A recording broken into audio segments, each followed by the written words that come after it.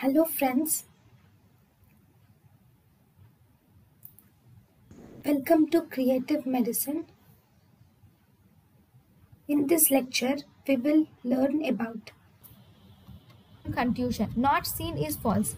A bone bruise or contusion is best identified with the help of MRI scan.